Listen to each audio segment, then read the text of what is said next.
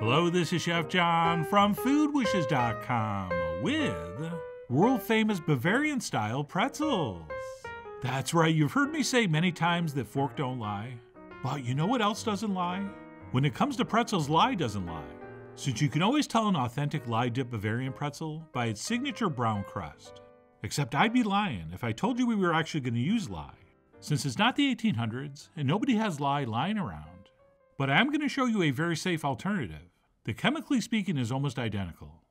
But first things first, and before we get to that, we got to make a very simple, almost no knead dough, which we'll start by stirring a little bit of brown sugar into some warm water. And then once that's dissolved, we'll go ahead and add a little bit of yeast. And we only need a little bit because this is going to rise overnight, which is also why we don't have to knead it very much, as you'll see. And once we've added the yeast, we'll let that sit for about 10 minutes, just to sort of wake up, while we go ahead and grab the rest of our ingredients, which will include some melted butter and about a half a cup of a good German lager, or of course the beer of your choice. And we'll go ahead and give that a quick whisking before transferring in our last two ingredients, which would be some bread flour. And of course, we're also going to need some salt. And then once all that's in there, we'll go ahead and take our hand and mix this until we formed a relatively stiff dough. All right, please note this is going to be a lot less wet than the typical no knead doughs we've done in the past. But that's okay, it's still going to work beautifully, as you'll see. And yes, in case you're wondering, you can use all purpose flour. Although generally bread flour works better for these kind of things because it has a little more gluten, which is going to help give these their signature, somewhat chewy texture. But anyway, what we'll do once that comes together is transfer it onto our work surface, and we will only need this for about a minute or two before forming it into as neat a ball as possible. And what we'll do is transfer it back into the bowl we mixed it after buttering the inside. And then we will simply cover this and let it sit overnight on the counter or until it's roughly doubled in size. And because this dough, as I mentioned, is a little bit drier than the ones we usually work with, it might not look that smooth and beautiful the next day. But don't worry, all we need to do is transfer that to our work surface and just knead it for like a minute or two until it smooths out, or until we can shape and manipulate that into having a nice smooth surface. At which point we'll place it back into the bowl and let it rise for about two or three more hours or until it almost doubles in size again. And while we're waiting for that second rise, we can move on to the only other thing we need to prep, and that would be our baked baking soda bath. And for that, we will transfer some baking soda into a heat proof dish, at which point we're going to transfer that into the center of a 300 degree oven for exactly one hour, at which point we'll pull it out and let it cool, and then very, very carefully whisk that into two cups of very hot tap water. And I do mean carefully. All right, the whole reason we bake the baking soda is to increase the pH to a level closer to lye than regular baking soda. So we want to be very careful as this will irritate your skin and definitely your eyes. So make sure you keep that in a safe place. I mean, you are after all the Levi Strauss of not injuring anyone in your house.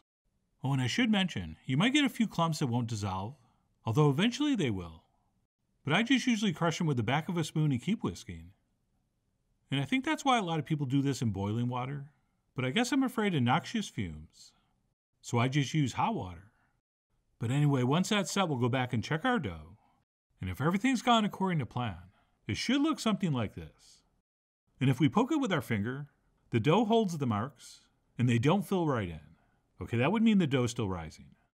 So that was perfect, which means we'll transfer it back to our work surface and we will flatten it and press out all the air with our hands. I know, we do that every time. But that makes this next step a lot easier, which is where we take our bench scraper and divide this into eight equal portions, or six, or four if you want bigger pretzels.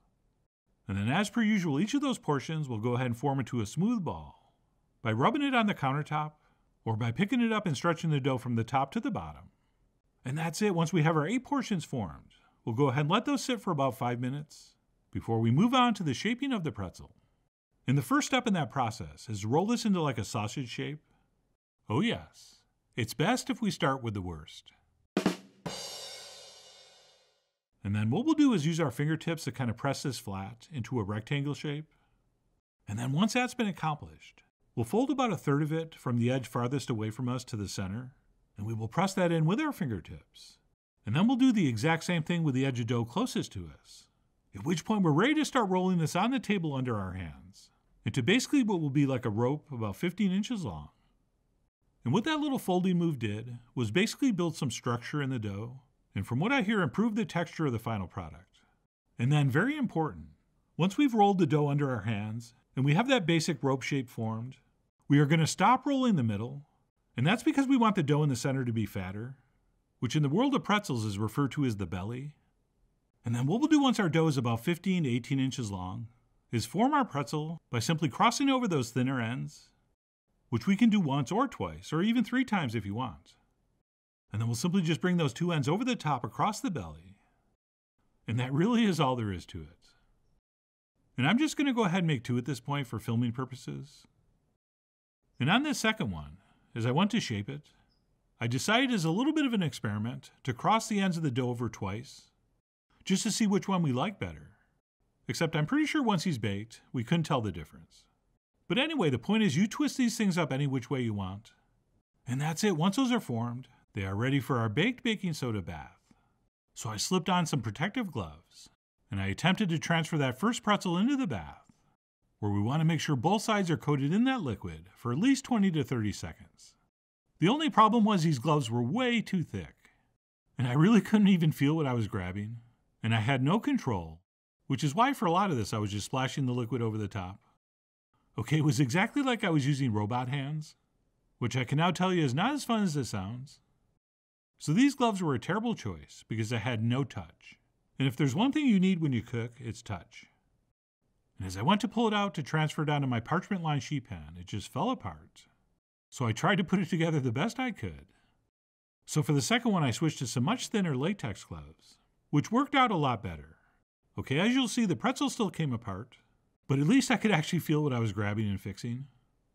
And in case you're wondering why we're going through all this, is because by soaking the surface of the dough in a highly alkaline solution, we're actually denaturing the dough on the surface, which once baked is going to give us that beautiful signature brown color and chewy texture and unmistakable pretzel flavor.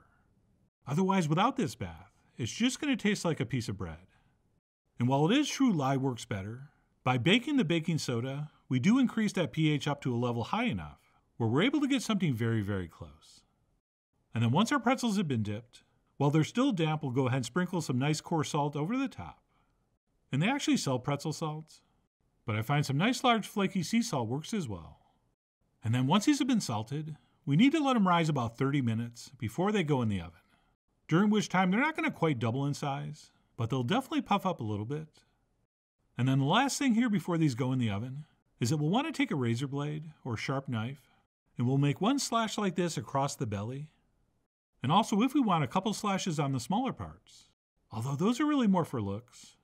Right, the ones we're doing on the bellies is so the dough splits there and not have it randomly split across the top, which might not look quite as nice. And that's it. Once cut, those are ready to transfer into the center or upper center of a 475 degree oven for about 12 minutes or until beautifully and deeply browned and looking like this. Oh, yeah, those look legit. And as you can see, thanks to those cuts, these split right where we wanted and not across the top. So that worked out.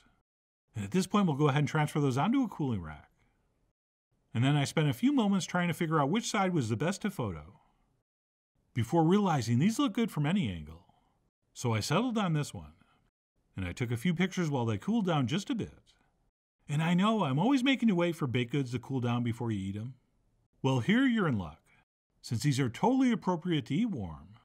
And what's even more appropriate is to eat them next to a German beer. And that, my friends, really was a magnificent soft pretzel. Right, we have that gorgeously browned, beautifully crusty exterior, bejeweled with those crystals of salt. And then inside what I think is a perfect soft pretzel texture. Okay, firm without being heavy, and chewy without being tough. And right here, I'll let you take a nice look at the inside while I stop to sip some beer. And I generally don't like when people say, oh, this is so delicious you could eat it plain, since I almost never want to eat things plain. But here it is pretty much true. Although, having said that, a beer cheese dip, like our Kentucky beer cheese recipe, would be absolutely perfect with these, as would our hot cheese fondue. Or if you're not into cheese, just some sweet hot mustard would also be absolutely beautiful. Or, as my Bavarian friends highly recommend, just simply spread with some soft butter. So that's how I enjoyed the rest of this one, which of course was incredible. And I went ahead and formed and dipped and baked the other six, which, because I had a beer, were a little bit easier and came out a little bit better. Which probably wasn't all because of the beer. It was probably because I already filmed two successfully, so I didn't really care as much how these came out. And I found when it comes to cooking, if you're not nervous and worried about how things are going to come out, they always seem to come out better. In fact, I'm pretty sure that goes for other things besides cooking. But anyway, that's it. My take on Bavarian style pretzels.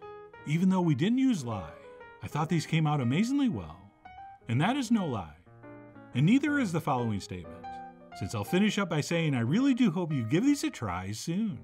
So please follow the links below for the ingredient amounts a printable written recipe, and much more info as usual. And as always, enjoy.